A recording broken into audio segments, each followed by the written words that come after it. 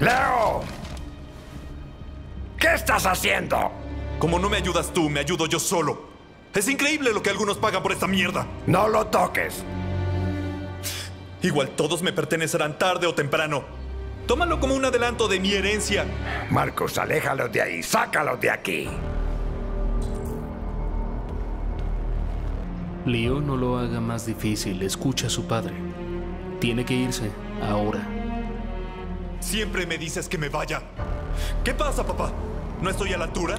¿No soy perfecto como esta puta cosa? ¡No más! ¡Vete! ¡Ahora mismo! ¿Qué lo hace ¡Ándate tan de- especial, eh? ¿Qué tiene que yo no? ¡Déjalo en paz! A ver, muestra qué puedes hacer. Marcus, no te defiendas, ¿entendido? No hagas nada. Anda, golpéame, ¿qué esperas? ¿Te crees hombre? ¡Actúa como uno! ¡Basta! ¿Qué te pasa? ¿Acaso eres un puto? ¡Basta, Leo! ¡Basta! ¿Tienes miedo de pelear, perra de mierda?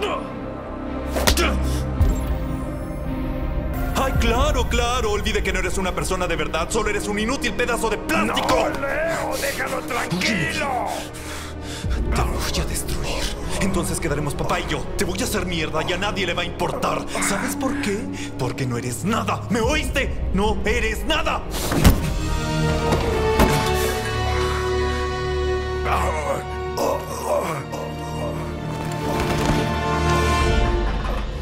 ¡Carl, no!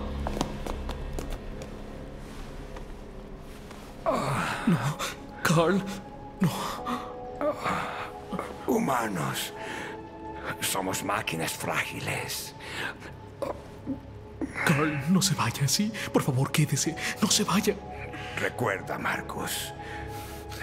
No dejes que nadie te diga quién eres. Ay, no. No. No. Papá. No. Por favor. Todo esto es culpa tuya. Esto no hubiera pasado de no ser por ti.